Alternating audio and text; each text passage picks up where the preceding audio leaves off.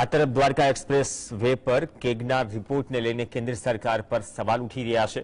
તેને લઈને કેન્દ્રીય મંત્રી નીતિન ગડકરીએ જવાબ આપ્યો કે આમાં ગોટાળો નથી. પ્રોફિટ થયો છે.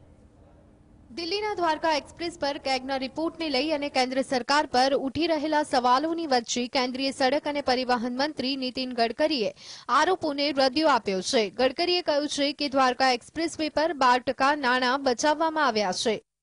ट्रैफिक जाम के कारण दिल्ली में जो तकलीफ होती है दिल्ली हमारे देश की राजधानी है और इसको सोचते हुए हम दिल्ली में पैंसठ हजार करोड़ रुपए के काम दिल्ली और दिल्ली के आजू बाजू कर रहे हैं ગડકરીએ કહ્યું કે સમસ્યા એ છે કે તે ઓગણત્રીસ કિલોમીટર બોલી રહ્યા છે પણ તે બસો ત્રીસ કિલોમીટર છે તેમાં કુલ છ ટનલ અને પાંચસો ત્રેસઠ કિલોમીટર ટોટલ લાઇન રોડ છે કાઢવામાં આવેલું ટેન્ડર બસો છ કરોડ રૂપિયા પ્રતિ કિલોમીટરનું હતું जो दिल्ली में पहला काम है द्वारका एक्सप्रेस वे।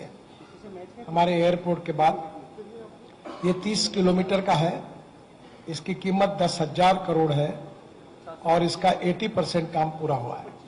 મહત્વપૂર્ણ છે કે દસમી ઓગસ્ટે સંસદમાં રજૂ કરવામાં આવેલા કેગના રિપોર્ટમાં કહેવામાં આવ્યું છે કે દ્વારકા એક્સપ્રેસવેના નિર્માણમાં નિર્ધારિત રકમથી વધારે નાણાં ખર્ચ કરવામાં આવ્યા. કેગ રિપોર્ટને ટાંકી અને વિપક્ષે કેન્દ્ર સરકાર સામે દ્વારકા એક્સપ્રેસવે પર ખર્ચના મામલે સવાલો ઊભા કર્યા છે. Bureau report, GSTV.